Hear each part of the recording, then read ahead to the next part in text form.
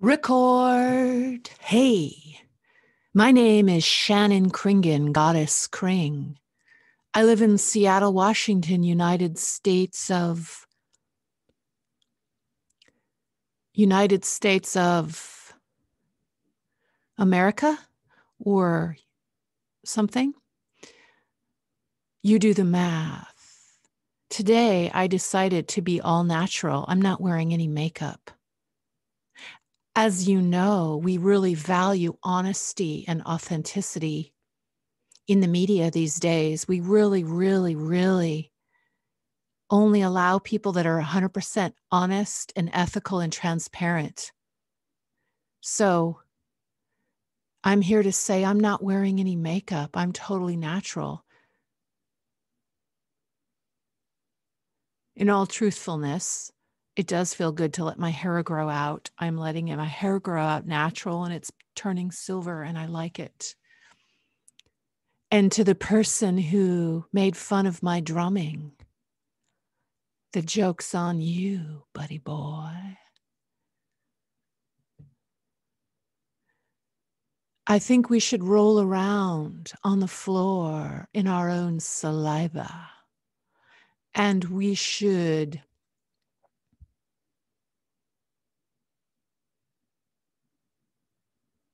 Use your imagination. What else should we do?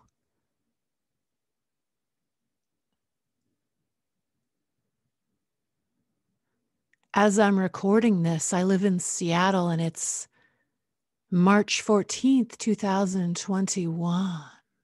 The clear vision of 2020 is getting even more clear. And we all know what's true and what's false is completely obvious and completely clear.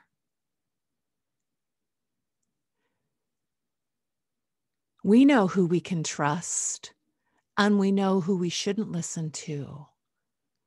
And if not, there's people here to help us decide what we cannot and what we can listen to and what ideas we're allowed to believe in and what ideas we're not allowed to believe in. What we're allowed to do with our bodies and what we're not allowed to do with our bodies. It's for our own good. We can trust certain people that are backed by millionaires and billionaires because we know they're only here to help us and protect us. It's totally, totally transparent and ethical and for the common good. Totally.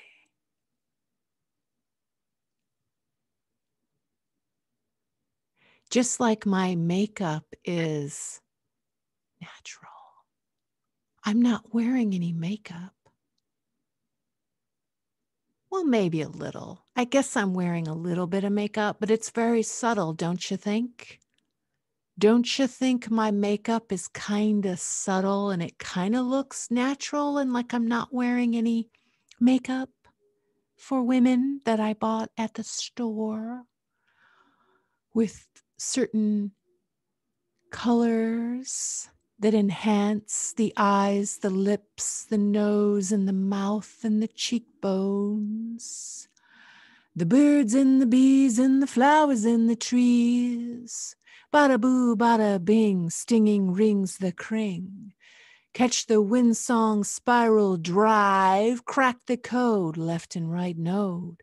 I wander and I wander, tripping over sand dollars, moon haulers, key robbers, Enchanted lands, smoky hands, rough and cracked. Take this sand and stand alone, all one. I present the present, desert the desert. Exercise, bring, exorcism, cleanse. Shuka, shuka shuka, shuka shuka. Do you shave your body hair off your body? Do you pluck your hair out of your skin?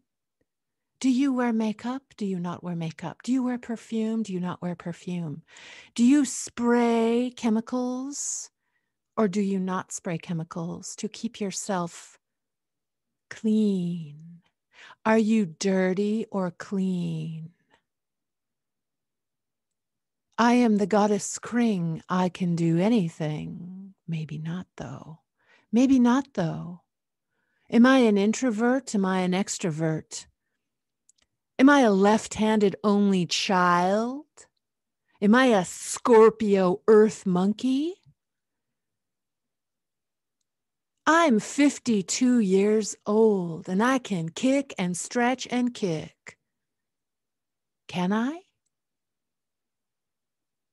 My ancestors are from Norway, Scotland, Sweden, England, a little bit of Native American Indian in my bloodstream DNA. But I don't really know much about my family history on either side. I think on my dad's side, we came here in the 1800s from Norway, and we were farmers in North or South Dakota. And then I think on my mom's side of the family, we came here to Canada to be bootleggers in the early 1900s, but I'm really not sure. From Ireland. I think my mom's side mostly came from Ireland. My dad's side mostly came from Norway. There's times when I wish my ancestors had stayed in Europe, but then again, no place is perfect. There's no place like home. There's no place like home. There's no place like home. I recently painted some slippers green because I don't want ruby slippers. I want emerald slippers because I love green. I'll get you, my pretty, and your video camera too. Thanks, grandmother, mother of my mother, power ripper, power tripper. Thanks, grandmother, mother of my mother, power tripper, soul ripper. I used to be a stripper. Seriously. In the early 1990s, I worked at the Lusty Lady, and my dance name was Jade, after Mick Jagger's daughter, Jade Jagger. I love Mick Jagger. The first rock concert I ever went to was the Rolling Stones in 1981 in Seattle at the Kingdome before they tore it down. And my last concert of my lifetime, it seems, because they're changing the rules. And I don't want the in order to see the rock and roll concert. Plus, it's so expensive. Why would I want to spend one, two, three, four, five, six, seven, eight, nine hundred, a thousand dollars just to see rock and roll live? I got to see Tori Amos and Tom Petty, who widens my jetty, and the Rolling Stones. So, my first concert was 1981 Rolling Stones, and my last concert in this lifetime might be Rolling Stones 2000, what was it, 19 or 18?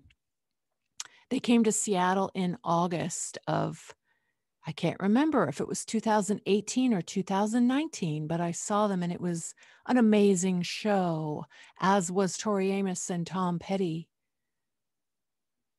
Mick Jagger struts in, his dagger grabs me. Tori Amos doesn't blame us, but names us. Neil Young washes away the fertile dung and Tom Petty widens my jetty. Goddess Kring, let it seep from deep within, blah, blah, blah, blah, blah. I forgot the rest of my poem. For people who make fun of me, go ahead, make fun of me.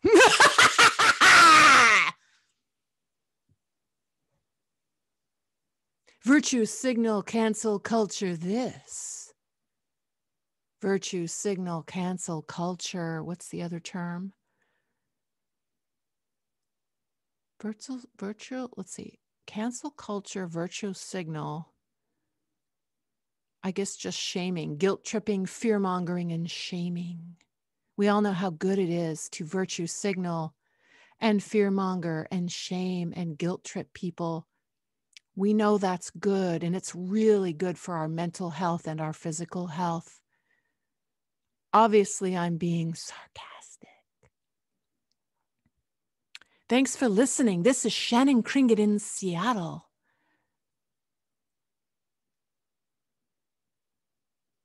All natural, free range human being.